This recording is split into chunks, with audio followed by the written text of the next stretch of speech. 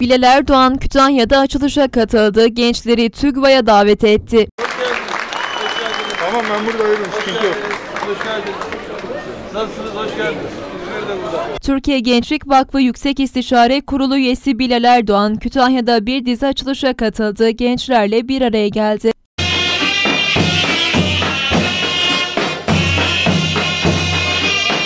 Türkiye Gençlik Vakfı Kütahya temsilciliği açılışı Yüksek İstişare Kurulu üyesi Bilal Erdoğan ve Vakıf Genel Başkanı Enis Eminoğlu'nun katılımıyla gerçekleştirildi. Törenin açış konuşmasını İl temsilcisi Orhan Yener Kaytancı yaptı.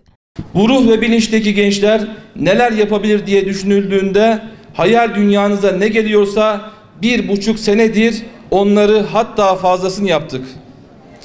Bu başarımızda emeğe geçen tüm yöneticilerimize vakfım adına şükranlarımı sunuyorum. Temsilciliğin açılışında emeği geçenlere teşekkür eden TÜGVA Genel Başkanı Enis Eminoğlu, Yeni Nesil Gençlik Vakfı parolasıyla yola çıktıklarını ve bu amaçla çalıştıklarını aktardı. İnşallah bundan sonraki süreçlerde de biz de biraz önce burada hem Abdülhamit Han'la ilgili hem Sayın Cumhurbaşkanımızla ilgili bir ezgi marş okundu. Gerçekten tarihimizi iyi bilerek, tarihi kodlarımızı, geçmişimizi, örflerimizi, adetlerimizi iyi bilerek Yeni Nesil Gençlik Vakfı olarak çıktığımız sloganda yeni nesli inşallah hem bu geçmişi iyi bilerek hem de yeni dünyayı, yeni düzeni iyi okuyabilen bir nesil olarak yetiştirme gayreti içerisindeyiz.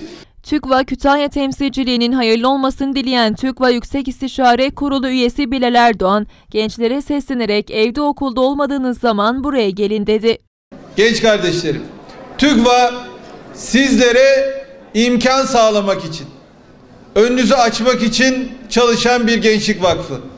Yeni Nesil Gençlik Vakfı denmesinin sebebi burada hangi faaliyetlerin yapılacağını, ne çalışmaların yapacağını buraya gelen gençler belirliyor. 17 yılda ciddi adımların atıldığını vurgulayan Erdoğan şunları kaydetti.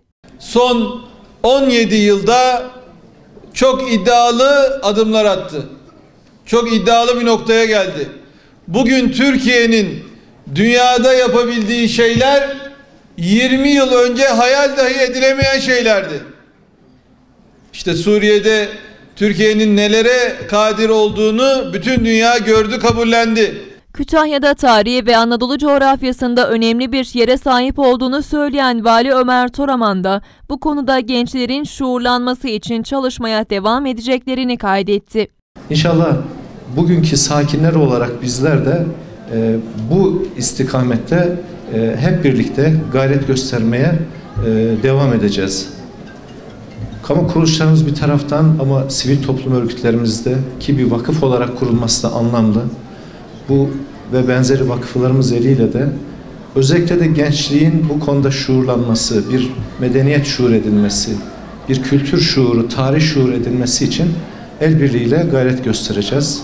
Konuşmalar sonrası Bilal Erdoğan, Enis Eminoğlu, Vali Toraman ve protokol üyeleri TÜGVA Kütahya İl Temsilciliği'nin açılışını gerçekleştirdi.